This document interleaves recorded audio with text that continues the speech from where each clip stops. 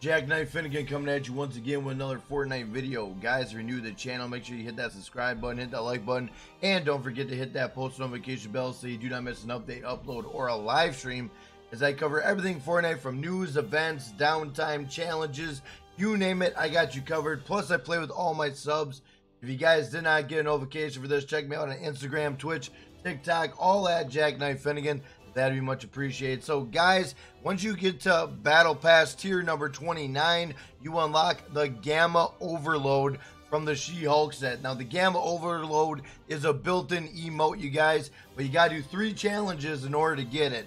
The first challenge is visit Jennifer Walters' office as Jennifer Walters. So, in case you don't know, you gotta be Jennifer Walters' skin and then go to the office. Let's get to that location. So Jennifer Walters' office is located in Retail Row. This is where you're going to want to be right in the R and the E. And then you are going to find right here, there it is, Jennifer Walters' office. Make sure you are Jennifer Walters, otherwise this will not work. All you got to do is find Jennifer Walters' office. You don't even have to go in. All you got to do is just go up to it. And there it is, you guys.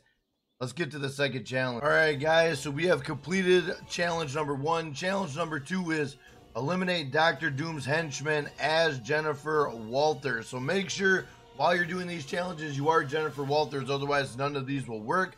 All you gotta do, guys, is go to Doctor Doom's domain and kill three henchmen. That will get challenge two complete. Let's go. Once you have gone to Doctor Doom's domain and killed three of the henchmen, very easy. Make sure you do that on solo, duos, or squads, because in Team Rumble, the henchmen are not there to my knowledge.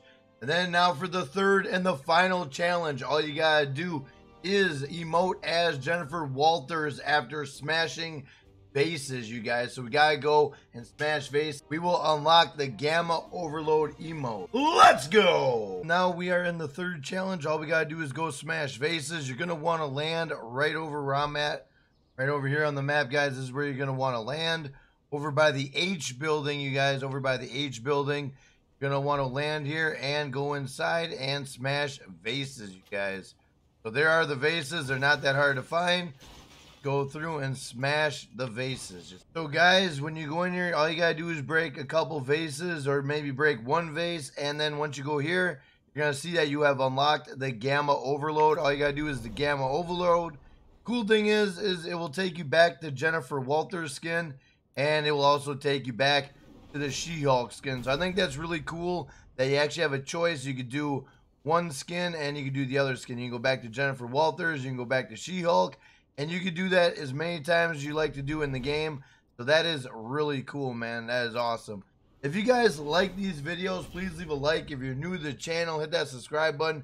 And don't forget to hit that post notification bell so you do not miss an update, upload, or a live stream.